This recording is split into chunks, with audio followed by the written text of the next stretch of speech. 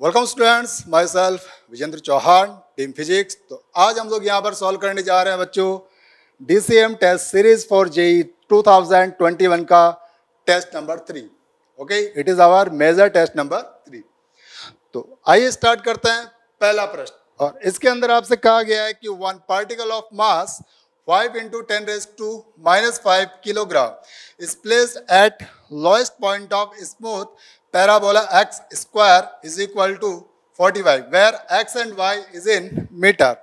If it is constant to move along parabola then find out its angular frequency for small oscillations in radian per second approximately okay G का value है ten metre per second square तो पहले तो हम लोग इस question को यहाँ एक बार समझ लेते हैं कि आखिर क्या कह रहा है ये क्वेश्चन एक पार्टिकल है। कहाँ पर है? एट इट्स लोएस्ट पॉइंट उस पार्टिकल को हमें थोड़ा सा यहाँ पर मूव करना है फॉर स्मॉल ऑसिलेशन और फिर यहाँ पर ले जाकर उसको छोड़ देना है। तो इस पाथ के ऊपर ऑसिलेशन करेगा। तो अब आपको इन ऑसिलेशंस की एंगुलर फ्रिक्वेंसी का वैल्यू फाइंड आउट करना है। देखते हैं बच्चों, कैसे यहाँ पर हम लोग इसको फाइंड आउट कर सकते हैं। देखिए बच्चों जी वर्टिकली डाउनवर्ड एक्ट कर रहा है तो अगर हम लोग पार्टिकल को यहाँ पर लाएँ, ठीक है? अगर हम लोग पार्टिकल को यहाँ पर लाएँ, और मैं कहूँ कि जी वर्टिकली डाउनवर्ड एक्ट कर रहा है, ठीक है? अगर जी वर्टिकली डाउनवर्ड एक्ट कर रहा है तो in that case I can say कि यहाँ पर जी डाउनवर्ड होगा तो जी का एक कंपोनेंट यहाँ होगा और एक कंपोनेंट यहाँ पर होगा, ठीक है? मान लीजिए कि हमने यहाँ पर एंगल लिया है स्लोप वाला एंगल ठीक है? क्यों लिया है हमने? क्योंकि हमको यहाँ पर स्लोप फाइंड आउट करने के लिए इक्वेशन दी गई है। तो यहाँ से हम लोग टेन थीटा यानी स्लोप का वैल्यू यानी D Y by D X आसानी के साथ फाइंड आउट कर सकते हैं।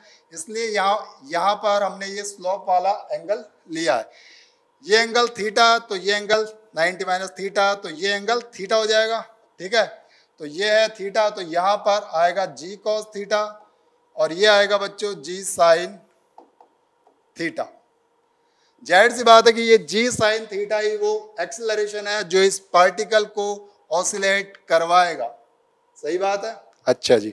तो हम लोग इसको लिख सकते हैं। Acceleration it will be G sine theta सही बात है यहाँ तक? अच्छा जी, बहुत अच्छी बात। अब देखिए यहाँ पर, अगर हम लोग स्लोप फाइंड आउट करना चाहते हैं, क्यों? क्योंकि हमें यहाँ पर साइन थीटा की वैल्यू भी फाइंड आउट करनी है। तो हम लोग पहले यहाँ पर स्लोप का वैल्यू फाइंड आउट कर लेते हैं। तो बच्चों, यहाँ पर आपको इक्वेशन जो है, दी गई थी X square is equal to forty Y तो यहाँ पर हम लोग X square is equal to forty five से। ये आएगा बच्चों टू एक्स डी एक्स और ये आएगा बच्चों forty D Y so from here we can find out D Y by D X क्या आएगा बच्चों? ये कैंसिल हुआ ट्वेंटी टाइम्स तो ये D Y upon D X आएगा एक्स अपॉन ट्वेंटी ठीक है? तो यहाँ पर ये हमको स्लोप का वैल्यू मिल चुका है या यूँ कहें कि हमें यहाँ पर टेन थीटा का वैल्यू मिल चुका है। क्या आ रहा है बच्चों? एक्स अपॉन ट्वेंटी ठीक है बच्चों? अब हमें पता है कि स्मॉल ऑसिलेशंस की बात की जा रही है। इट मीन्स हम लोग इस पार्टिकल को जो है बहुत कम यहाँ से डिस्प्लेसमेंट दे रहे हैं। डिस्प्लेसमेंट जितना हम लोग कम देंगे स्लोप का वैल्यू भी उतना ही कम होगा। क्यों? क्योंकि अगर डिस्प्लेसमेंट ज़्यादा हो एंगल भी क्या होगा? ज़्यादा होगा। डिस्प्लेसमेंट कम दिया स्लोप और कम। डिस्प्लेसमेंट और कम दिया स्लोप और कम एंगल और कम। और हम लोग यहाँ पर स्मॉल ऑसिलेशन की ही बात कर रहे हैं। इट मीन्स एंगल बहुत कम होगा। स्मॉल ऑसिलेशन के लिए थीटा का वैल्यू बहुत कम होगा। और जब theta is very small then sine theta can be written as tan theta when theta is small enough. So, from here we can say that I can write it as A is equal to G tan theta. और tan theta का value हम लोग यहाँ पर find out कर चुके हैं X upon twenty this is a year okay अब देखिए बच्चों डिस्प्लेसमेंट हमने कहा दिया? मीन पोजीशन से इधर की ओर. लेकिन एक्सलरेशन कहाँ लग रहा है? इसके जस्ट अपोजिट ठीक है?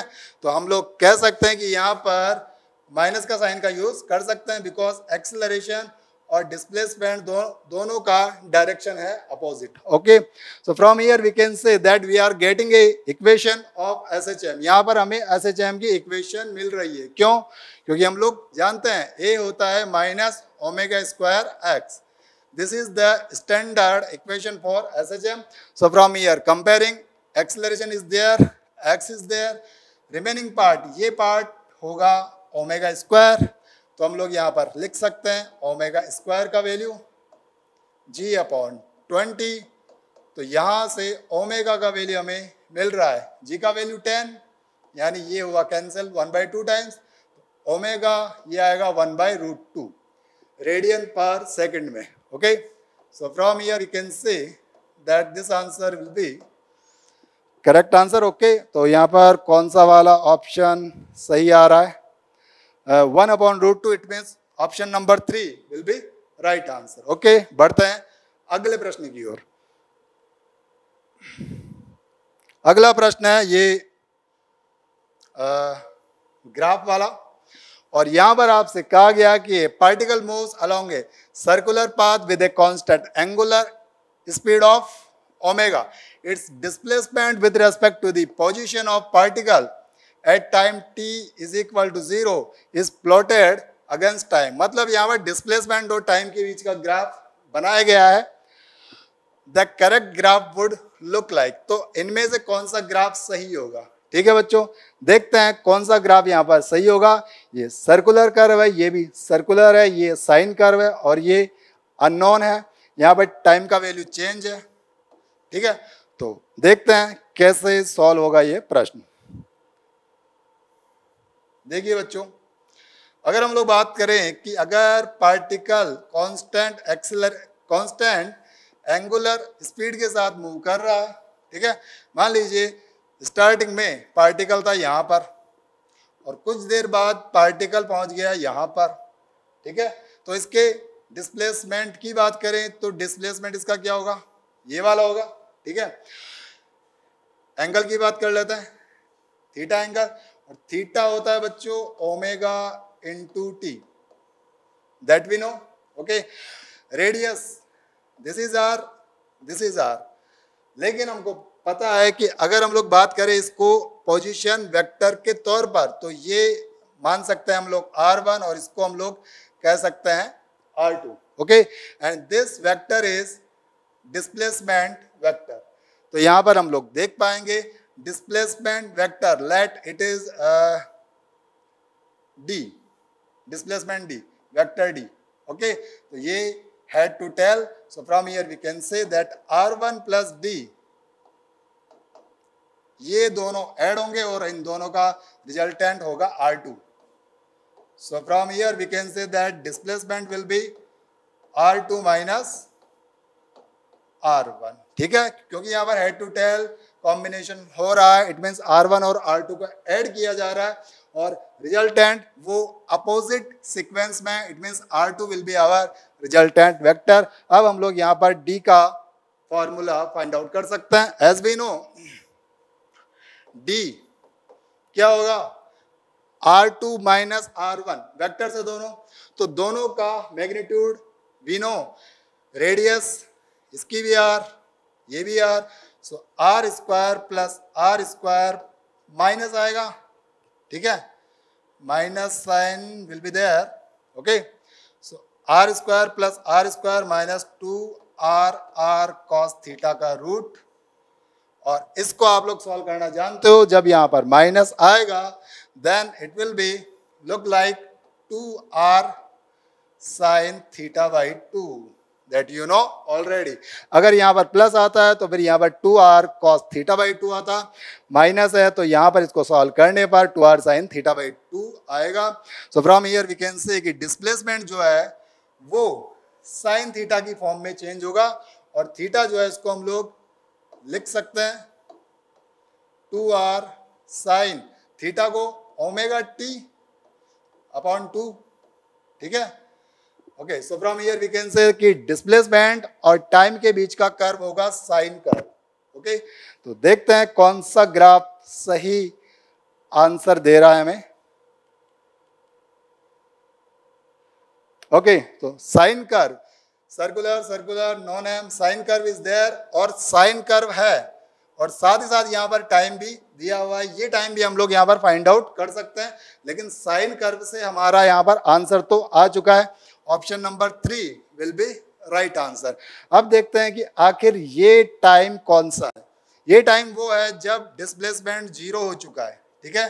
तो एक तो डिस्प्लेसमेंट ज़ीरो कहाँ हुआ है? ज़ीरो टाइम पर। और एक डिस्प्लेसमेंट उसके बाद ज़ीरो हुआ है टू पाई अपॉन ओमेगा पर। देखते हैं कि क्या हमें यहाँ पर टाइम का value two pi upon omega मिल रहा है क्या जब डिस्प्लेसमेंट ज़ीरो है। देख लो एक बार डी का वैल्यू ज़ीरो तो ये डिवाइड में आ जाएगा।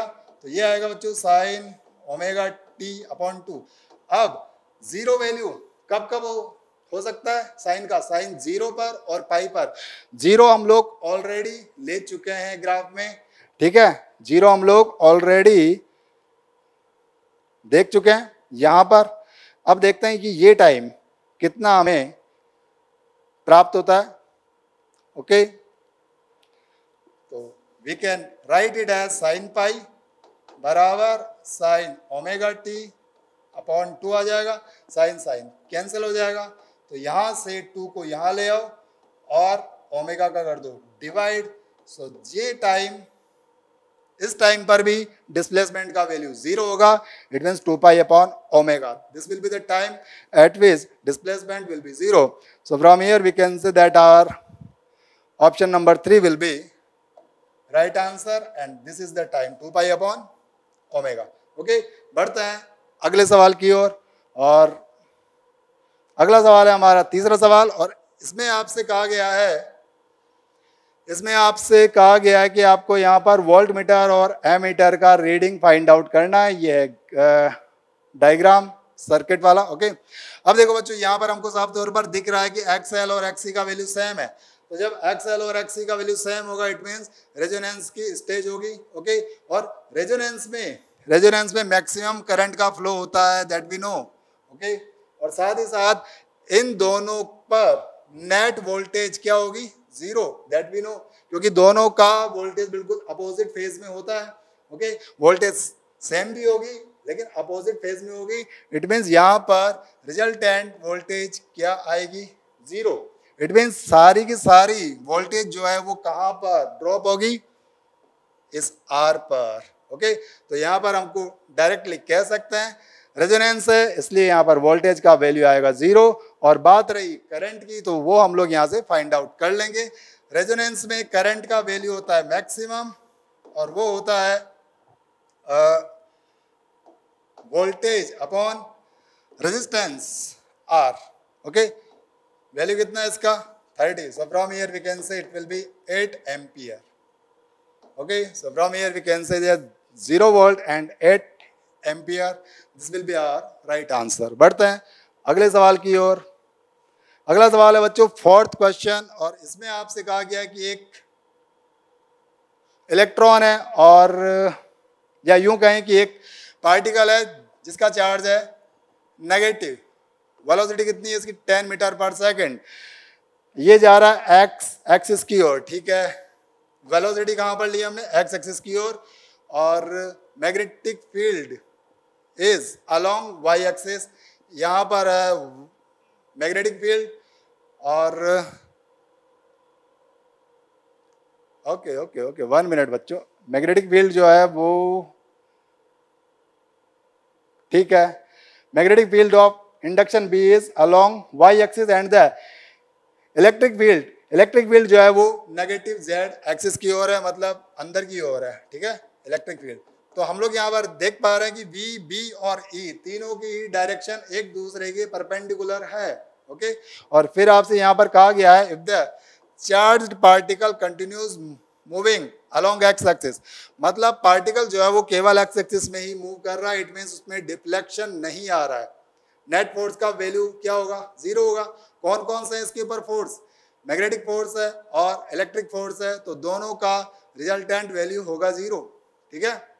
ओके तो हम लोग डायरेक्टली इसको सॉल्व कर सकते हैं। हमें डायरेक्शंस के चक्कर में पढ़ने की ज़रूरत नहीं है। डायरेक्ट हमको पता है कि डिफ्लेक्शन नहीं हो रहा है तो net force zero it means जितना फोर्स मैग्नेटिक फ़ील्ड का होगा क्यू वी उतना ही होगा इलेक्ट्रिक फ़ील्ड का फोर्स तो यहाँ पर क्यू से क्यू कैंसिल हो जाएगा। हमें यहाँ पर फाइंड आउट करना है magnetic field okay so magnetic field का वैल्यू हम लोग डायरेक्टली फाइंड आउट कर सकते हैं। ई अपॉन वी से ई e का वैल्यू कितना दिया हुआ है बच्चों? Ten raise to four okay और वी का वैल्यू वी का वैल्यू दिया हुआ है ten meter per second so from here we will get our answer that will be ten raise to three okay weber per meter square so option number one will be the right answer बढ़ते हैं अगले सवाल की ओर। और, और अगला सवाल है पांचवा। और इसमें आपसे कहा गया है कि यदि when momentum of a proton is changed by p naught ठीक है? मोमेंटम में चेंज किया कितना? P naught then de Broglie wavelength is decreased by 0.25 percent then initial momentum of proton will be approximately हमें यहाँ पर आंसर बताना है। तो बच्चों, हमें पता है, हमें पता है कि लेमड़ा होता है बच्चों h upon p that we know okay lambda होता है upon p so from here we can say that lambda one p one बराबर क्या होगा? Lambda two p two initial और ये बाद वाली मतलब चेंज वाली स्टेज की बात कर रहे हैं क्योंकि एच तो है यहाँ पर constant so lambda one p one बराबर होगा लेमड़ा टू पी टू अब हम लोग इसमें चेंज की बात कर लेते हैं। आ, क्या कहा? प्रोटोन का संवेग पी नोड से चेंज होता है। पी नोड से चेंज हो रहा है। It means p two two को हमने कहा पी वन। अच्छा एक बात और, समझिएगा। वेवलेंथ में कमी हुई है। तो बच्चों, अगर वेवलेंथ कम होगी तो मोमेंटम क्या होगा? बढ़ेगा। मोमेंटम क्या होगा? बढ़ेगा। इट मीन हम लोग कह सकते हैं कि पी टू बराबर आएगा, पी वन प्लस आएगा यहाँ पे, माइनस नहीं आएगा, okay?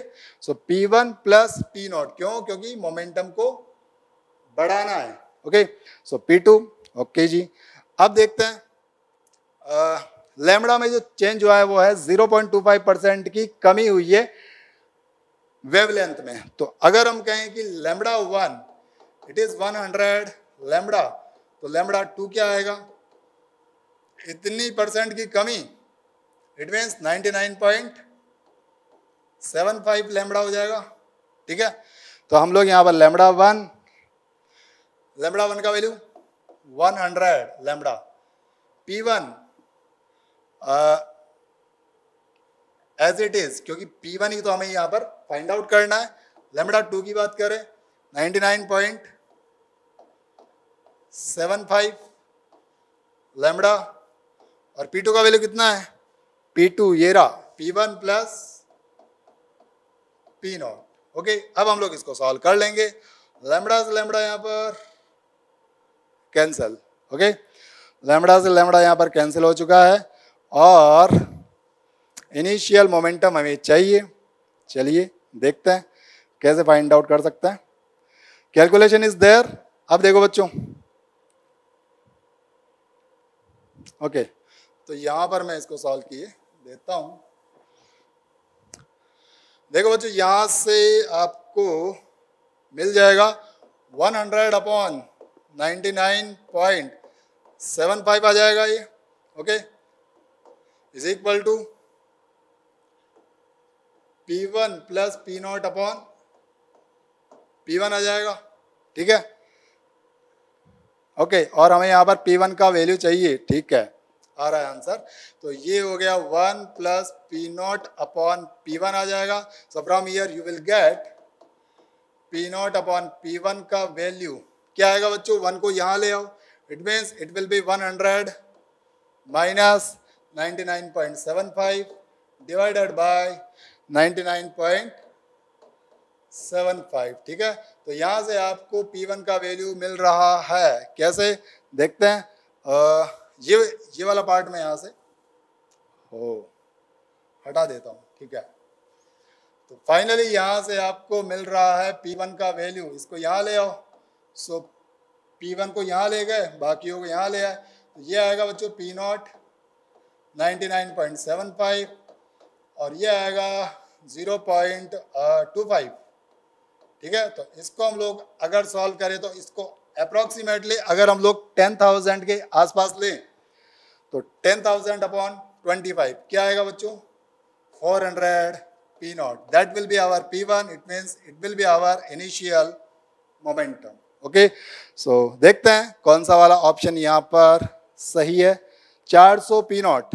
Third option is the right answer बढ़ते हैं अगले प्रश्न की ओर। और, और अगला प्रश्न है छठा प्रश्न। और इसमें आपसे कहा गया है इसमें आपसे कहा गया कि small planet is okay okay ठीक है। एक प्लेनेट है जो कि एक बहुत बड़े स्टार के चारों ओर घूम रहा है ठीक है? और radius of its path radius इसकी आ, इसके पाथ की ठीक है? और इसका जो टाइम पीरियड है वो टी है। अब आपसे कहा कि ग्रह के मध्य गुरुत्वाकर्षण बल जो है वो आर की power minus five by two के समानुपाती है। इट मीन हम लोग यहाँ पर कह सकते हैं कि आप proportional to one upon R raise to five by two नीचे ले आए इसको, ठीक है? तो टी जो है, इनमें से किसके समानुपाती होगा? यानी टाइम पीरियड इनमें से किस पर डिपेंड करेगा? तो बच्चों, इसको हम लोग लिख सकते हैं constant upon R raise to five by two और ये जो फोर्स है, ये फोर्स हमें सेंट्रीबिटल फोर्स प्रोवाइड कर रहा होगा। तो हम लोग इसको लिख देंगे M V square upon R इसको सॉल्व करके हम लोग यहाँ पर वेलोसिटी का आर पर डिपेंडेंसी फाइंड आउट कर सकते हैं। डायरेक्ट मैं अगर यहाँ पर सॉल्व करूँ तो आर की पावर यहाँ पर minus one okay so V square proportional to क्या आएगा बच्चों? माइनस वन किया यहाँ पर, ठीक है? यानी थ्री बाई टू आ जाएगा। R S to three by two okay और अब इसका रूट लिया यानी v proportional to velocity will be proportional to one upon R S to कितना आ जाएगा? Three by four three by four ठीक है, यहाँ तक। अब बात कर हम लोग टाइम पीरियड की। सो एज वी नो कि टाइम पीरियड जो है वो होगा two pi R upon V ठीक है? So from here we can say कि यहाँ पर अगर केवल प्रोपोर्शनैलिटी की बात करें तो आर आ रहा है ऊपर और वी आ रहा है नीचे, यानी वी को लिख सकते हैं one upon R raise to three by four तो one upon R raise to three by four, ये जाएगा ऊपर। So from here we can say कि T proportional to R raise to one plus three by four यानी seven by four इसको ऊपर ले जाना। इसकी पावर वन है तो one plus three by four that will be seven by four okay so from here we can say की t proportional to r s to 7 by 4 this will be our answer. देखते हैं, कौन सा option match कर रहा है okay R S to seven by four option number four is right answer बढ़ते हैं अगले सवाल की ओर सातवां प्रश्न और इसके अंदर सातवें प्रश्न में आपसे कहा गया है कि इनमें से कौन सा स्टेटमेंट गलत है ठीक है देखते हैं डायग्राम ये है तो सबसे पहले हम लोग इन सभी पॉइंट्स का जो वोल्टेज है वो फाइंड आउट कर लेते हैं क्योंकि उससे हमको फिर करंट का वैल्यू फाइंड आउट करने में बहुत आसानी होगी। देखिए बच्चों, ग्राउंडिंग इज़ देयर, वोल्टेज कितना? ज़ीरो। पॉइंट डी का भी क्या होगा? Voltage zero. ज़ीरो, बैटरी का वोल्टेज कितना? Two volt. It mean zero से लेकर टू तक मतलब इस पॉइंट का होगा वोल्टेज टू वोल्ट। अब आ जाओ यहाँ पर। ये अगर दो वोल्ट है, टू प्लस टेन, यानी पॉइंट सी होगा बारह वोल्ट पर, और ये बारह वोल्ट पर है तो ट्वेल्व माइनस सिक्स तो ये होगा बच्चों सिक्स वोल्ट पर तो सबसे पहले आपको इन पॉइंट्स का जो वोल्टेज है, वो फाइंड आउट करना है। उसके बाद आप करंट फाइंड आउट कर सकते हैं। देखते हैं। Current passing through the two ohm resistance so two ohm से कितना करंट यहाँ पर फ्लो कर रहा है? वोल्टेज का डिफरेंस कितना है? Six minus four six minus two मतलब फोर वोल्ट आ गया। रेजिस्टेंस कितना है? टू ठीक है? टू ओम तो यहाँ से हमें करंट का वैल्यू मिल रहा है that will be two ampere it means ये स्टेटमेंट सही है। उसके बाद बात करते हैं थ्री ओम की। थ्री ओम का वोल्टेज का डिफरेंस है ट्वेल्व माइनस ज़ीरो मतलब बारह। रेजिस्टेंस कितना है? थ्री कितना आ गया? फोर एम्पियर इट मीन्स ये भी सही स्टेटमेंट है। उसके बाद बात करते हैं current in the wire D D E current का वैल्यू क्या होता है? डेल्टा वी वोल्टेज का डिफरेंस कितना है? Zero minus zero it mean zero resistance हो सकता है कुछ हो, लेकिन ज़ीरो ज़ीरो अपॉन आर क्या आएगा बच्चों? ज़ीरो इट मीन्स करंट का वैल्यू यहाँ पर आ रहा है zero it means statement three भी सही है। Potential of point A is ten volt point A का पोटेंशियल है बच्चों सिक्स वोल्ट टेन वोल्ट नहीं है it means fourth statement is wrong. So this will be our answer, okay? Fourth option will be our answer बढ़ते हैं। अगले सवाल की ओर। और, अगला सवाल है आठवां प्रश्न और इसमें आपसे कहा गया है इसमें आपसे कहा गया है कि एक डिस्क है और ये रोल करती हुई किसी हाइट तक जा रही है तो अब हमें इस हाइट का वैल्यू फाइंड आउट करना है। चलिए तो सिंपल सा सवाल है। ज़ाहिर सी बात है कि हमको यहाँ पर काइनेटिक एनर्जी को पोटेंशियल में चेंज करना है ओके? सो काइनेटिक एनर्जी यहाँ पर होगी रोलिंग की मतलब ट्रांसलेशन और रोटेशन की। So we can say that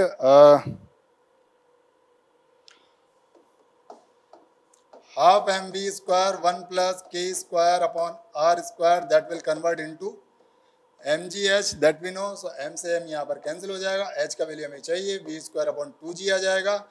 और डिस्क के लिए K square upon R square का वैल्यू होता है one by two so from here we can say that it will be three by two okay so three by two यानी three V square upon two two यहाँ पर है. Two two जहाँ four आ जाएगा. मतलब four G okay three V square upon four G ये आएगा हमारा आंसर। देखते हैं कौन सा ऑप्शन सही मैच हो रहा है।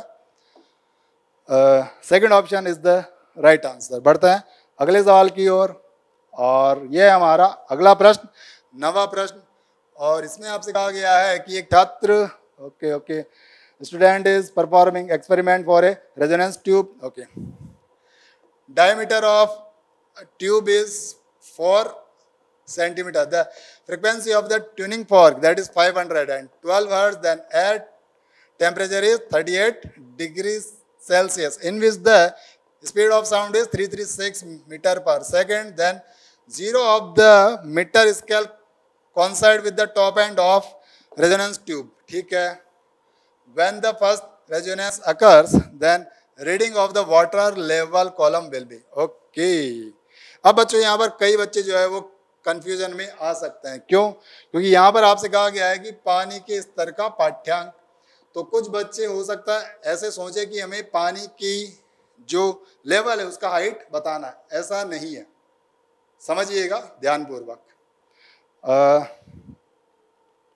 देखिए, ये सवाल कहना चाह रहा है कि फ़र्स्ट वाला जब रेजोनेंस हुआ तो उस केस में as we know diagram will be like this ऐसा हुआ डायग्राम और आपसे कहा गया है कि रेजोनेंस ट्यूब के ऊपर वाले एंड पर ज़ीरो लिखा हुआ है। उसके बाद क्या होगा? One two three four five six like this okay one two three four five six like this okay तो अब आपसे कह रहा है कि वाटर लेवल का रीडिंग बताना है। वाटर लेवल का रीडिंग मतलब यहाँ का रीडिंग बताना है आपको। इट मीन्स ज़ीरो से लेकर कितने? ज़ीरो से लेकर कितनी रीडिंग पर वाटर प्रेजेंट होगा? इट मीन्स हमें यहाँ पर एयर कॉलम का लेंथ बताना है। सीधी सी बात यह है। एयर कॉलम का लेंथ हमें बताना है। एंड वी नो कि इस सिचुएशन के अंदर एयर कॉलम का लेंथ जो है, अगर हम लोग कहें कि वो लेंथ है एल और ये एंड करेक्शन है ई e, तो एल प्लस ई का वैल्यू लेमड़ा बाई फोर होता है ठीक है? तो यहाँ से हम लोग एल का वैल्यू फाइंड आउट कर लेंगे। लेमड़ा लेमड़ा को लिख दो वी अपॉन एफ़ और ये आएगा माइनस ई ठीक है? और ई e क्या होता है? Zero point six R E होता है zero point six R zero point six R का वैल्यू रेडियस कितनी है जी? रेडियस दिया गया है डायमीटर है ये ओके फोर रेडियस हो गई two okay so from here we can say कि ई का वैल्यू यहाँ से आ रहा है 1.2 ओके 1.2 सेंटीमीटर में आ रहा है ये। अच्छा जी। ई का वैल्यू हमको यहाँ पर फाइंड आउट हो चुका है। अब देखते हैं कि वी अपॉन फोर एफ़ का वैल्यू क्या आएगा। वी का वैल्यू कितना है? Three three six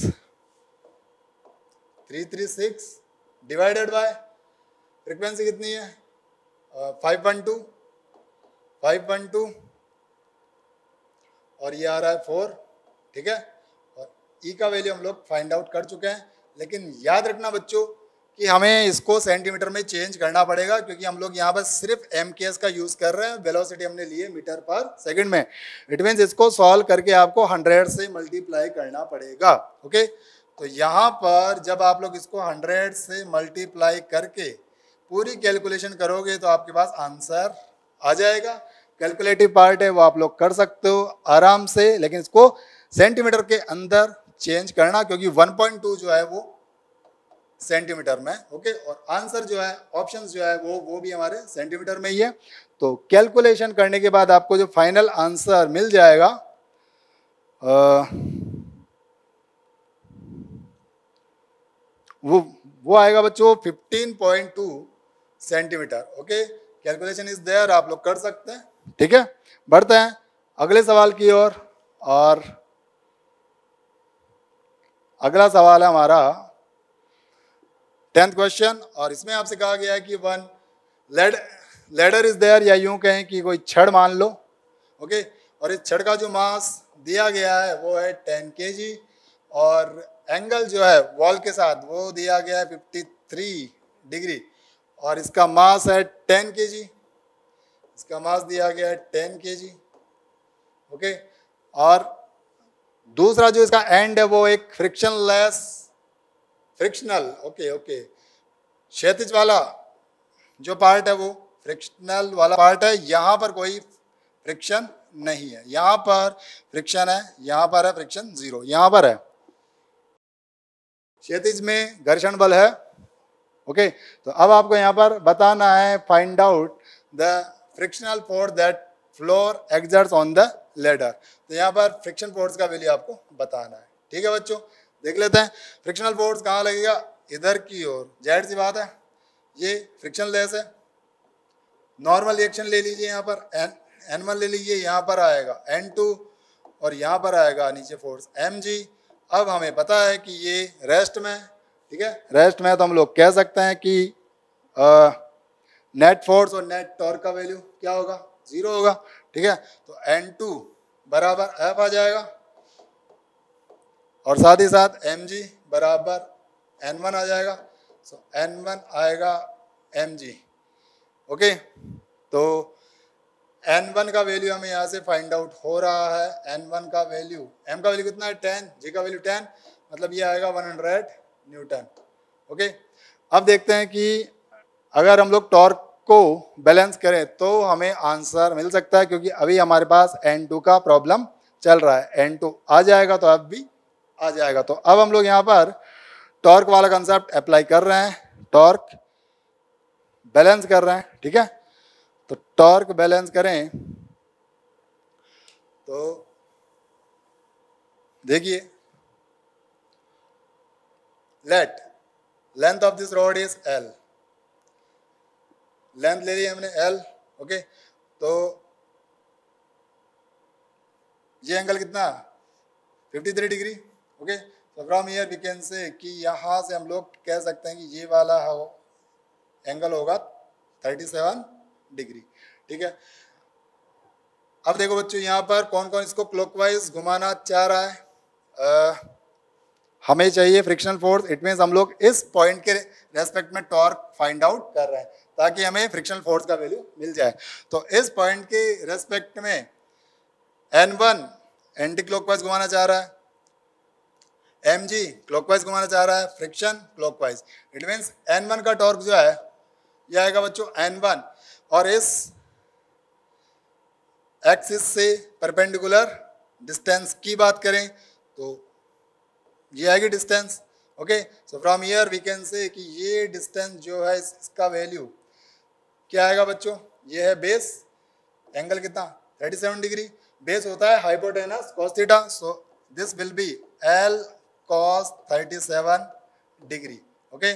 So from here we can say that it will be L cos 37 का वैल्यू 4 अपॉन फाइव आ जाएगा। So, ये आ गया N1 का torque L into four upon five और N1 का टॉर्क ठीक है? अब फ्रिक्शन का टॉर्क की बात कर लेते हैं। फ्रिक्शन का टॉर्क इसको क्लॉकवाइज घुमाने का ट्राई कर रहा है।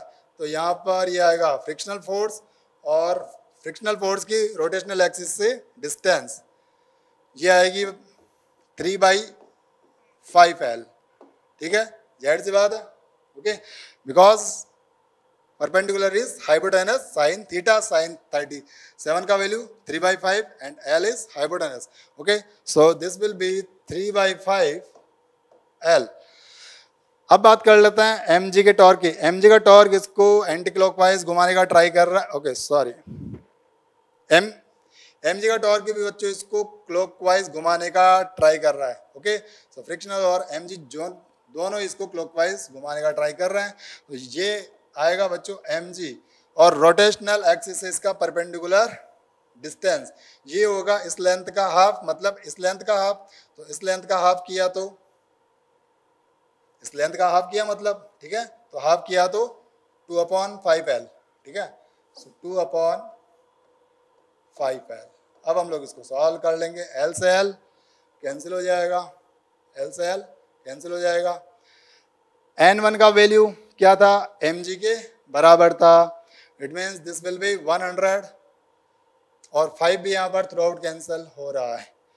ये आ रहा है बच्चों four F three M G का वैल्यू बाई वन हंड्रेड और यह आएगा टू ठीक है?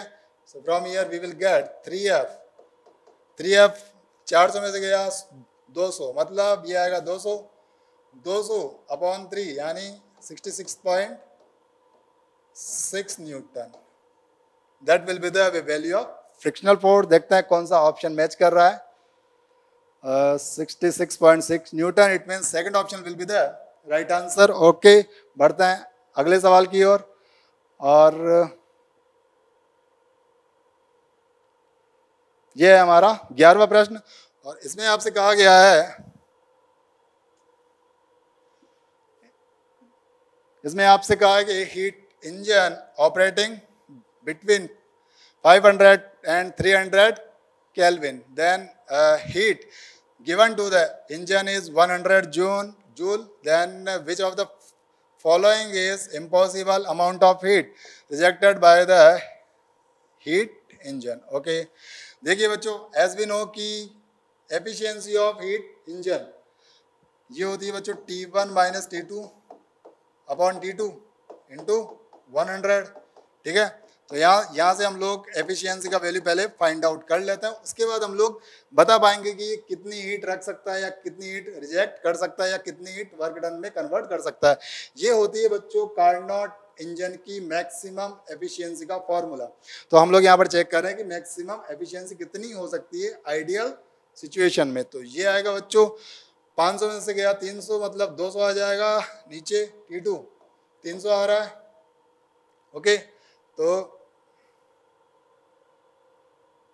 ओके बच्चों ओके बच्चों one minute T two upon T one होता है sorry T two upon T one होता है.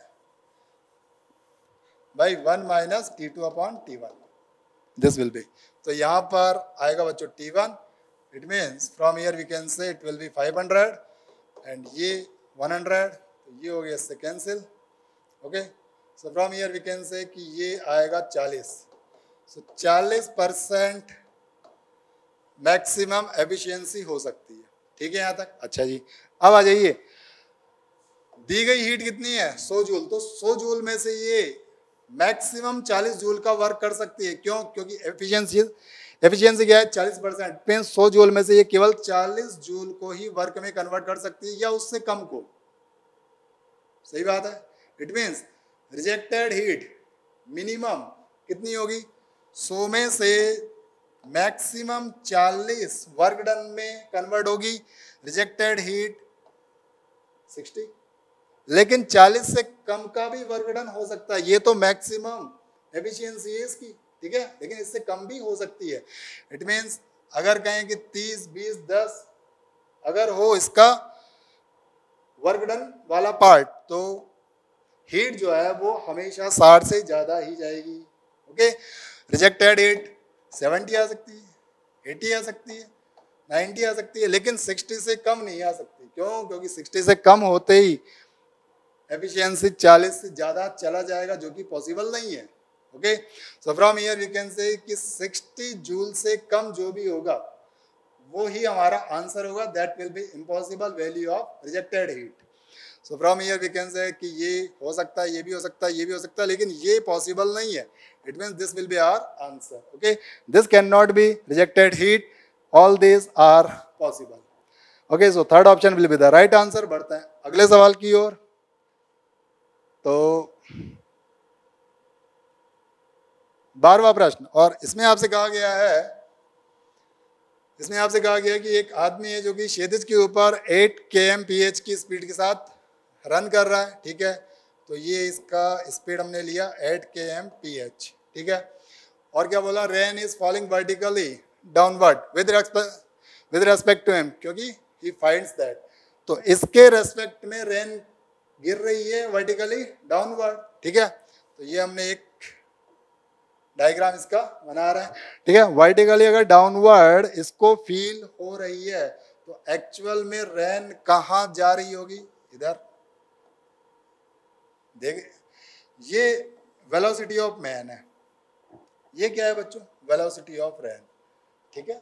और ये होगा बच्चों velocity of rain with respect to the man क्यों? क्योंकि हमको पता है कि इस ट्राइंगल में हम लोग साफ़ तौर पर देख पा रहे हैं कि हेड टू टेल कॉम्बिनेशन इन दोनों का हो रहा है। So V R M plus V M is equal to V R तो बिल्कुल साफ़ तौर पर हमें पता है कि वी आर एम होता है बच्चों V R minus V M it means ये वाला डायग्राम इस वाली इक्वेशन के अकॉर्डिंग है ओके तो ये डायग्राम बिल्कुल ठीक है। अब आ जाइए, अब क्या कहा आपसे? अब कह रहा है कि अगर उसने अपनी स्पीड कर दी कितनी? 12 के एम पी एच तो अब उसको रेंज जो है वो वर्टिकल से 30 डिग्री के एंगल पर आती हुई दिखती है। अब देखिएगा, एक ट्रिक है इसकी। इसका एक बहुत लॉन्ग मेथड भी है, लेकिन इसको सॉल्व करने का एक ट्रिक भी है, बच्चों। वो ट्रिक से हम लोग यहाँ पर सॉल्व कर रहे हैं। समझिएगा, ध्यानपूर्वक। बच्चों, पहले स्पीड कितनी थी? एट अब कितनी हो गई? ट्वेल्व इंक्रीज कितना हुआ? फोर का। तो क्या हम इसके अंदर फोर के एम पी एच एड कर दें? तो ये टोटल कितना बन गया? ट्वेल्व इट मीन जब वो twelve K M P H की स्पीड के साथ दौड़ रहा है, तब उसको रैन इधर की साइड आती हुई दिख रही है। ठीक है? तो ये एंगल आपको दिया गया है। कितना दिया गया? थर्टी डिग्री तो ये एंगल थर्टी डिग्री ठीक है बच्चों? तो बच्चों, अगर आपको ये डायग्राम बनाने आ गए ना तो फिर ऐसा कोई सा भी प्रश्न आप लोग बहुत आसानी से हल कर पाओगे। तो इसकी आप लोग बहुत प्रैक्टिस कर लो कि डायग्राम कैसे ठीक से बनाए ओके तो ये है एंगल थर्टी डिग्री अब हम लोग बहुत आसानी के साथ वी का वैल्यू फाइंड आउट कर सकते हैं. क्यों? क्योंकि अब हमको सिर्फ़ टिग्नोमेट्री यूज़ करनी है तो देखते हैं वी का वैल्यू यहाँ की बात करें तो ये है बच्चों परपेंडिकुलर और ये है बेस अगर हमें बेस का वैल्यू मिल जाए तो बेस भी है परपेंडिकुलर भी है हाइपोटेनस का वैल्यू हम लोग फाइंड आउट कर लेंगे। तो पहले तो हम लोग यहाँ पर बेस का वैल्यू फाइंड आउट कर लेते हैं। एस बी नो बच्चों की टेन थीटा क्या होगा? परपेंडिकुलर अपॉन बेस यानी four upon let it is X मान लो इसको, ठीक है? एक्स मान लेते हैं। सो परपेंडिकुलर अपॉन बेस तो यहाँ से हमें एक्स का वैल्यू मिल रहा है। क्या आएगा बच्चों? Four tan thirty one upon root three तो वन अपॉन रूट थ्री यानी रूट थ्री आ जाएगा ऊपर। ये आ गया बच्चों एक्स का वैल्यू एक्स का वैल्यू आ चुका है। परपेंडिकुलर है ही हमारे पास बेस है ही तो वी आर का वैल्यू क्या होगा? Square of this one plus square of this one का रूट यानी इसका स्क्वायर प्लस इसका स्क्वायर तो इसका स्क्वायर किया तो एट का स्क्वायर सिक्सटी फोर इसका स्क्वायर किया फोर्टी एट आएगा, सोलह ये, तीन ये फोर्टी एट बन जाएगा ओके तो अब हम लोग इनको ऐड कर देते हैं। ट्वेल्व आएगा, वन वन, टू आएगा। अब इसको और सॉल्व हम लोग कर सकते हैं। ऑप्शन भी हम लोग एक बार देख लेते हैं।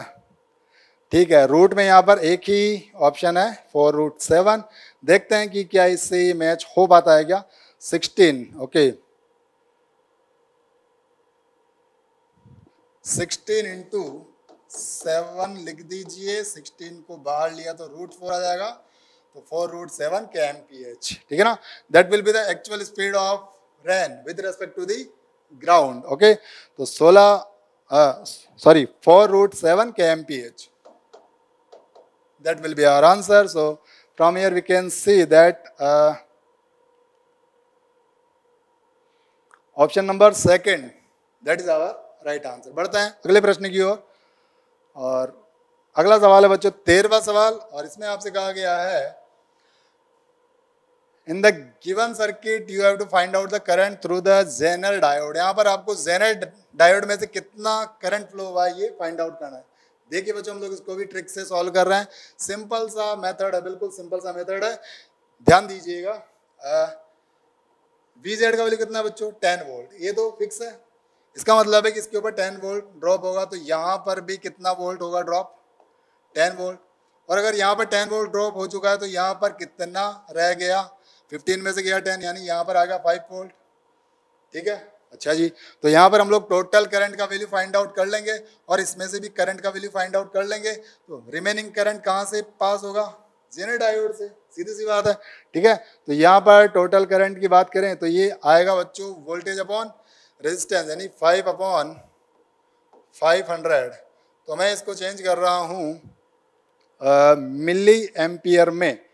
सॉरी ये ये फाइव हंड्रेड था तो इसको मैं फिफ्टी करके लिख देता हूँ ओके अब देखो बच्चों टेन और ये जाएगा ऊपर, यानी टेन मिली एम्पियर मतलब टोटल करंट जो है, वो है टेन मिली एम्पियर अब बात कर लेते हैं यहाँ की कि यहाँ पर कितना करंट गया। तो यहाँ की बात करें तो ten voltage upon resistance one five double zero तो एक ज़ीरो में यहाँ पर और रख देता हूँ ताकि मैं इसको मिली में चेंज कर सकूँ। तो ये ये आ रहा है बच्चों वन हंड्रेड अपॉन फिफ्टीन और ये आ रहा है मिली ओके सो so, इसको मैं लिख सकता हूँ बच्चों twenty upon three milli ampere. Okay? Okay okay okay. One minute बच्चों। ओके okay, बच्चों तो यहाँ से आ रहा है ट्वेंटी अपॉन थ्री मतलब ये आएगा बच्चों six point six six milli ampere तो बच्चों ज़ाहिर सी बात है कि टोटल में से ये वाला करंट अगर माइनस कर दे तो हमको ये वाला करंट मतलब जेनरल डायोड में से पास हो, होने वाला करंट मिल जाएगा। सो so, 10 में से गया 6.66 it mean from here we can say that option it mean 3.33 milli ampere that will be our right answer बढ़ते हैं अगले सवाल की ओर और, और ये हमारा अगला प्रश्न और ये कैलकुलेटिव है बच्चों बाकी इसमें ठीक है देखते हैं इसे। क्या आएगा इसका आंसर? सबसे पहले अच्छा डायग्राम को देखते ही लगता है हमें कि शायद ये टॉर्क वाला कोई क्वेश्चन है, जहाँ पर हमको इसका टॉर्क वगैरह कुछ निकालना होगा। लेकिन ऐसा नहीं है बच्चों। सवाल को एक बार पढ़िए और उसके बाद सोचना स्टार्ट कीजिए। क्या है सवाल? Body of mass 2.5 kilogram is subjected to the forces, as shown in the figure. Find out the acceleration of center of सिर्फ़ हमें यहाँ पर acceleration चाहिए टॉर्क वगैरह नहीं चाहिए। अब हमें पता है कि अगर एक्सलरेशन चाहिए तो क्या निकालना पड़ेगा? Net force upon total mass mass तो है हमारे पास नेट फोर्स फाइंड आउट कर सकते हैं हम लोग। कैसे करेंगे? देखो बच्चों एक्स और वाई कंपोनेंट लेकर हम लोग सॉल्व कर सकते हैं। तो पहले मैं इसको, देखो बच्चों, यहाँ पर पहले मैं बात कर रहा हूँ एक्स यानी एक्स एक्सिस में टोटल फोर्स कितना है, उसके बाद वाई एक्सिस का फोर्स उसके बाद F X square plus F Y square का रूट कर दूँगा तो नेट फोर्स आ जाएगा, ठीक है? एफ़ एक्स की बात करें तो ये आएगा बच्चों फोर कॉस सिक्सटी ये आएगा बच्चों सिक्स कॉस फिफ्टी थ्री ठीक है? ये दोनों फोर्स कहाँ जा रहा है? एक्स एक्सिस में पॉजिटिव और ये force six newton negative X axis और इसकी बात करें तो ये इसका भी X component positive X axis की ओर ही जा रहा है. ये आएगा बच्चों five cos thirty seven it means ये तीनों तो जा रहे हैं पॉजिटिव में, ये जा रहा है नेगेटिव में। तो हम लोग बात करें तो ये आएगा फोर्स कॉस सिक्सटी का वैल्यू वन बाई टू आ जाएगा प्लस सिक्स और ये आ रहा है cos fifty three cos fifty three कितना होता है बच्चों? थ्री अपॉन फाइव सो ये आएगा थ्री अपॉन फाइव और ये आ रहा है फाइव कॉस थर्टी सेवन कितना होता है? फोर अपॉन फाइव, ठीक है? और माइनस करना है इसमें से ये सिक्स, ठीक है? तो यहाँ से हमें मिल रहा है बच्चों, फाइव से फाइव कैंसिल हो जाएगा, और ये हो जाएगा टू बार कैंसिल तो टू एंड यहाँ पर फोर है तो टू प्लस फोर सिक्स आ जाएगा सिक्सटी सिक्स कैंसिल हो गया इट मीन्स ये आ रहा है एटीन अपॉन फाइव न्यूटन ठीक है? ये आ गया एफ़ एक्स का वैल्यू अब ऐसे ही हम लोग यहाँ पर एफ़ वाई का वैल्यू भी फाइंड आउट कर सकते हैं कंपोनेंट्स की हेल्प से। तो इसका एफ़ वाई का वैल्यू ऊपर की ओर जा रहा है, इसका एफ़ वाई भी ऊपर की ओर, इसका एफ़ वाई नीचे की ओर, ठीक है? तो यहाँ पर ये आएगा बच्चों फोर साइन सिक्सटी डिग्री ये आएगा बच्चों five sine thirty seven degree ये भी ऊपर, ये भी ऊपर और ये नीचे आ रहा है। ये आएगा बच्चों six sine fifty three degree okay so from here we can say that it will be six okay तो यहाँ पर हम लोग डायरेक्टली एफ़ वाई की बात कर लेते हैं। ऊपर वाली फोर्सेस पॉजिटिव ले लेते हैं तो ये आएगा बच्चों four root three by two और ये आएगा बच्चों ऊपर की ओर फाइव साइन थर्टी सेवन मतलब फाइव और साइन थर्टी सेवन का value three upon five okay और ये आ रहा है डाउनवर्ड मतलब ये आएगा सिक्स और साइन फिफ्टी थ्री का value four by five okay तो आप लोग इसको भी यहाँ पर सॉल्व करके एफ़ पाई का वैल्यू फाइंड आउट कर सकते हो। फाइव से फाइव यहाँ पर कैंसिल हो जाएगा ये टू टाइम्स आएगा ओके तो ये आ, आ रहा है बच्चों two root three plus twenty four upon five ठीक है? तो यहाँ पर आपको एफ़ वाई का वैल्यू भी मिल जाएगा। अब क्या करना है? इसके बाद आपको, उसके बाद आपको नेट फोर्स निकालना है। ज़ाहिर सी बात है कि एफ़ एक्स का स्क्वायर कर देना एफ़ वाई का स्क्वायर कर देना और उसका रूट ले लेना। डिवाइडेड बाय एम ये आएगा आपका एक्सेलरेशन एफ़ एक्स और एफ़ वाई की वैल्यूज़ हम लोग फाइंड आउट कर चुके हैं। स्क्वायर करके रूट ले लीजिएगा। एम का वैल्यू दिया गया है। सॉल्व करना है बस। It mean calculation is there ठीक है? तो इसको सॉल्व करने पर फाइनली जो आपका आंसर आएगा, देखते हैं, कितना आएगा वो?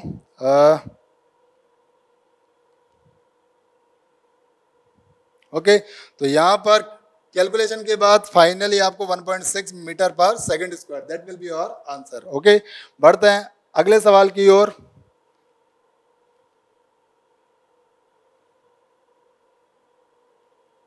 ओके okay, तो ये हमारा पंद्रवा प्रश्न और इसमें आपसे कहा गया कि double slit experiment is there और स्लिट्स के बीच का गैप कितना दिया हुआ है? यानी डी का वैल्यू दिया हुआ है फाइव एम एम डी का वैल्यू दिया हुआ है बच्चों फाइव एम एम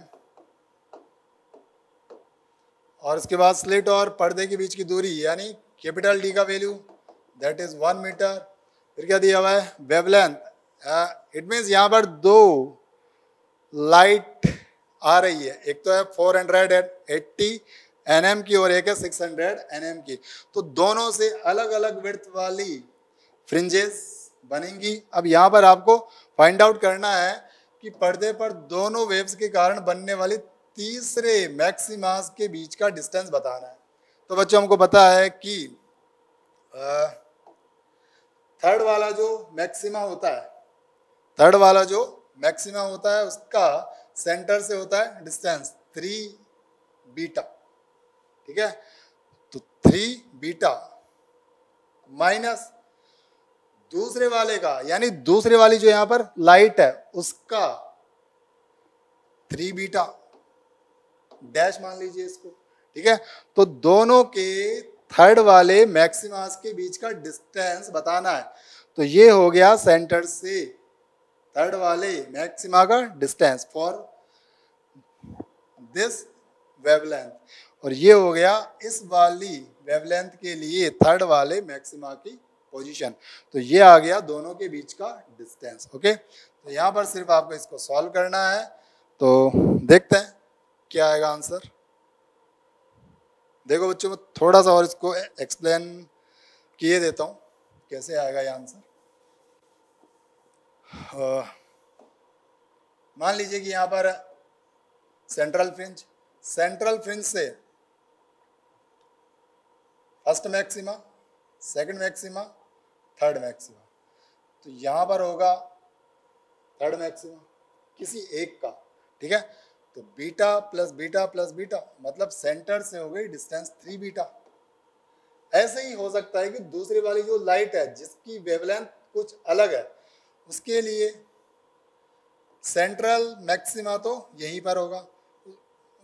लेकिन हो सकता है कि उसके लिए बीटा का वैल्यू कम हो या ज़्यादा हो। मान लेते हैं कि कम है, ठीक है? तो उसके लिए first maxima second maxima third maxima ठीक है?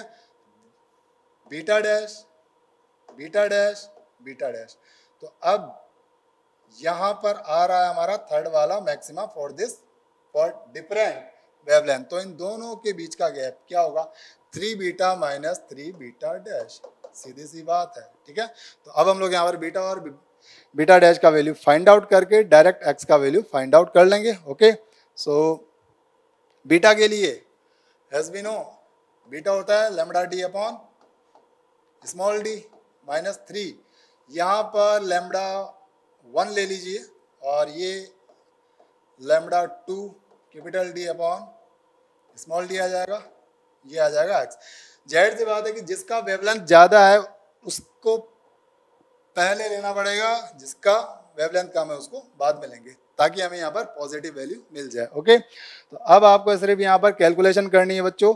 आई होप कि you can do that very well okay तो देखते हैं, सिर्फ़ वैल्यूज़ पुट करके आपको यहाँ पर सॉल्व करना है ओके लेमड़ा है आपके पास lambda one six hundred lambda two का वैल्यू 480 कैपिटल डी का वैल्यू वन स्मॉल डी का वैल्यू फाइव एन एम ठीक है? और इसके बाद कैलकुलेट करके फाइनली आप लोग अपने आंसर तक पहुँच सकते हो। तो थोड़ी बहुत मैं यहाँ पर आपको कैलकुलेशन करके दे देता हूँ। ओके चलिए, देखते हैं। यहाँ की बात कर लेते हैं। थ्री आ गया कॉमन और डी अपॉन डी कॉमन आ गया। लेमड़ा वन में से गया लेमड़ा टू कितना रह गया? One hundred twenty N M one hundred twenty N M आ रहा है, ठीक है? ये आ रहा है हमारा एक्स एक्स ही होगा हमारा आंसर अब लेट यहाँ पर कर लेते हैं इसको सॉल्व थ्री कैपिटल डी का वैल्यू कितना है बच्चों? वन स्मॉल डी का वैल्यू कितना था? स्मॉल डी का वैल्यू था I think five N M small D का value five M M sorry small D का वैल्यू था five M M five M M और ये आ रहा है one twenty N M nanometre ज़ाहिर से बात है. एम एम एम कैंसिल ये बन जाएगा माइक्रो ठीक है? और इसके बाद हम लोग इसको सॉल्व करके फाइनली अपने आंसर तक पहुँच सकते हैं ओके तो ये आएगा 360 divided by two micro okay लेकिन यहाँ से हमको मीटर मिल जाएगा। Okay metre. अब इसको हम लोग और फर्दर सॉल्व करके देख सकते हैं। ओके ये फाइव है बच्चों। ये फाइव है। ओके तो इसको हम लोग अगर सॉल्व करेंगे तो डेफिनेटली हमें यहाँ पर सेवन टू के फॉर्म में आंसर मिलेगा। बाकी आप लोग इसको और ज़्यादा सॉल्व करके देख सकते हैं। तो फाइनली हम लोग यहाँ पर देख पाएँगे कि थर्ड ऑप्शन जो है वो आपका मैच कर जाएगा। ओके कैलकुलेशन इज़ देयर आप लोग सॉल्व कर सकते हैं। माइक्रो है, इसको आप लोग मिली मीटर की फॉर्म में चेंज कर लीजिएगा। ओके तो ठीक है, बढ़ते हैं थोड़ा सा और आगे। चलिए ओके ठीक है बच्चों? I hope you can do it ये आएगा सेवन ये आएगा टू ये आएगा माइक्रोमीटर तो तीन पॉइंट यहाँ ले लीजिए zero point seven two millimetre that will be the answer okay third option will be the right answer चलिए ठीक है। बढ़ते हैं आगे। सोलवा प्रश्न है हमारा।